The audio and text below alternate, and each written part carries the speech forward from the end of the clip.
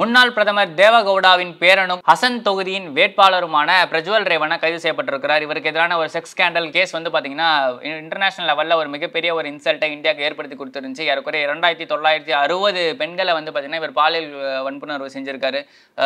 அதை வீடியோவும் எடுத்து பென் டிரைவ்ஸ் பென் டிரைவ்ஸாக வச்சிருந்திருக்காரு. இது அவரோட ஒன் ஆஃப் த டிரைவர் வந்து ரிலீஸ் பண்ணனால வெளில தெரிஞ்சிருக்கு. அந்த டிரைவர் வந்து பாஜக காரங்க கிட்ட தான் வந்து பார்த்தீங்கன்னா அந்த பென் டிரைவை நான் கொடுத்தேன். ஒன் ஆஃப் த பாஜ பிஜேபி லெட்டர் கிட்ட தான் நான் கொடுத்தேன் அப்படின்னு சொல்லிட்டு ஒரு ஸ்டேட்மெண்ட் கொடுத்துருந்தாரு. அவரையுமே அரெஸ்ட் பண்ணியிருந்தாங்க. அதை தாண்டி இந்த ஒரு விஷயம் எப்போ வெளியே வருதுன்னு பார்த்தீங்கன்னா ஏப்ரல் இருபத்தி ஆறாம் தேதி அந்த வாக்குப்பதிவுக்கு ஒரு அஞ்சு நாளைக்கு முன்னாடி இந்த செக்ஸ் ஸ்கேண்டலுக்கான அந்த வீடியோஸ் இருந்து எல்லாமே வந்து சோஷியல் மீடியாஸ் எல்லாமே பரவுது. இவருக்கு எதிரான ஒரு மிகப்பெரிய ஒரு எதிர்ப்பு அலை கிளம்புது. ஏப்ரல் இருபத்தி ஆறாம் தேதி போலிங் முடிஞ்ச உடனே அவர் நைட்டு கிளம்பி இங்கேருந்து தப்பிச்சு ஜெர்மனிக்கு போயிடுறாரு. அந்த அஞ்சு நாள் ஏன் போலீஸ் அரெஸ்ட் பண்ணாமல் இருந்துச்சு? அவர் மேலே கேஸ் ஃபைல் பண்ணாமல் இருந்துச்சுன்றதெல்லாம் ஒரு மிகப்பெரிய கேள்விக்குறியாக தான் இருக்குது முன்னாள் பிரதமரோட பேரன்றதுனாலயா? இல்லை மேலேருந்து ஏதாவது மத்திய அமைச்சரவையிலேருந்து ஏதாவது அழுத்தம் கொடுத்தாங்களான்ற மாதிரி விஷயங்கள்லாம் வந்து பார்த்தீங்கன்னா தொடர்ந்து பரபரப்பாக விவாதிக்கப்பட்டு தான் வந்துட்டு இருந்துச்சு. இதை தொடர்ந்து கர்நாடகா காவல்துறை வந்து பார்த்தீங்கன்னா இந்த ஒரு கேஸில் ஸ்ட்ரிக்டான ஆக்ஷன் எடுத்து பல பேரை வந்து அரெஸ்ட் பண்ணியிருந்தாங்க. பல பேர்கிட்ட இருந்து எவிடன்ஸ் கலெக்ட் பண்ணியிருந்தாங்க.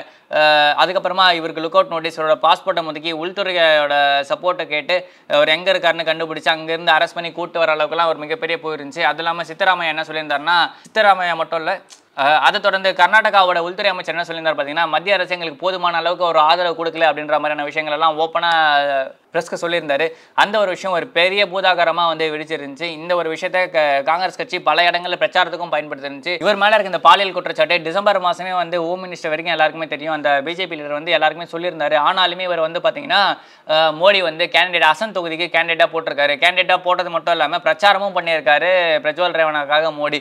மோடி இதெல்லாமே சப்போர்ட் பண்ணுறாரா ஏற்கனவே மணிப்பூர் விஷயத்துக்கு பேசவே இல்லை. டெல்லியில் வந்து பார்த்தீங்கன்னா பிரிஜ்பூஷன் விஷயத்துக்கு பெருசாக எதுவுமே ரியாக்ட் பண்ணிக்கவே இல்லைன்ற மாதிரியான கம்ப்ளைண்ட்ஸ்லாம் எக்கச்சக்கமாக இருந்துச்சு. ஆல்ரெடி போன வாட்டி அந்த ஹத்ராஸ்லேருந்து பல பாலியல் குற்றச்சாட்டுகள் வந்து பார்த்திங்கன்னா பாஜகவோட முக்கியமான பர்சன்ஸ் மேலேயே அந்த கம்ப்ளைண்ட்ஸ்லாம் நிறைய இடத்துல இருந்துச்சு. இதை தொடர்ந்து இந்த கேஸை பற்றி எல்லா இடத்துலையும் பேச ஆரம்பிச்சிருந்தாங்க. பிரஜ்வல் ரேவனாக்கு ஒரு மிகப்பெரிய ஒரு நெருக்கடி ஏற்பட்டுருந்துச்சு. தேவகவுடா உட்பட வந்து பார்த்தீங்கன்னா நீ வந்து திரும்பி நாட்டுக்கு வரல அப்படின்னா நான் உன் குடும்பத்திலேருந்தே ஒதுக்கி வச்சிருவேன்ற மாதிரியான ஒரு எமோஷனல் பிளாக்மெயில்ஸ் எல்லாமே வந்து பண்ணியிருந்தாங்க.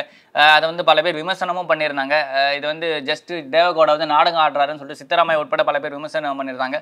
இந்த ஒரு விஷயத்தில் மே முப்பதாம் தேதி நைட்டு அதை அதாவது மே முப்பத்தி ஒன்றாம் தேதி காலையில் ஏறக்குறைய பன்னெண்டு ஐம்பத்தி ஒன்று ஒரு மணி போல் வந்து பார்த்தீங்கன்னா பிரஜ்வல் ரேவனா ஜெர்மனியிலிருந்து இந்த பெங்களூர்ல இருக்க கெம்பகோடா ஏர்போர்ட்டுக்கு வந்திருக்காரு. அவர் வந்து இறங்கின உடனே அவர் அரெஸ்ட் பண்ணியிருக்கு காவல்துறை. காவல்துறையும் சி- அங்க பாதுகாப்பு பணியில் இருந்த சிஆர்பிஎஃப் எல்லாரும் சேர்ந்து தான் அரெஸ்ட் பண்ணியிருக்காங்க. இவரை சீக்கிரமாவே கோர்ட்ல ஆஜர்படுத்துவாங்கன்னு நினைக்கிறோம். தொடர்ச்சியாக பாஜக மேல காங்கிரஸும் ம- மற்ற எதிர்க்கட்சிகளும் வைக்கிற குற்றச்சாட்டு என்னன்னு பார்த்தீங்கன்னா பாஜகவோட ஆட்சியில வந்து பார்த்தீங்கன்னா பெண்களுக்கு எந்த ஒரு பாதுகாப்புமே இல்லை அப்படின்ற மாதிரியான வாதத்தை முன் வச்சுட்டே இருக்காங்க. அது எலெக்ஷன்ல பல இடங்களில் மேனிஃபெஸ்டோலையும் பயன்படுத்தியிருந்தாங்க. பிரியங்கா காந்தி உட்பட ஹோம் மினிஸ்டர் வந்து அமித்ஷா வந்து சொல்லியிருந்தாரு. ஏன்னா அவங்க ரெண்டு நாள் வெக்கேஷன் போயிருந்தப்போ வந்து பார்த்தீங்கன்னா எங்கே போயிருக்காங்க அப்படின்னு சொல்லிட்டு ஹோம் மினிஸ்டர் சொன்னதுக்கு வந்து பிரியங்கா காந்தி கொடுத்த பதிலடி என்னன்னு பார்த்தீங்கன்னா அப்போ ஃபர்ஸ்ட் பண்ணிட்டு இருந்த வேலையை ஹோம் மினிஸ்டர் இன்னும் கண்டினியூ பண்ணுறாருன்னு நினைக்கிறேன். பெண்கள் எங்கே போகிறாருன்னு சொல்லிட்டு வாட்ச் பண்ணிட்டு இருக்காங்கன்ற மாதிரி ஒரு கமெண்ட்டையுமே அவங்க பிரியங்கா காந்தி பாஸ் பண்ணியிருந்தாங்க. இப்போ எலெக்ஷனோட கடைசி ஃபேஸுக்கு வந்துட்டோம்.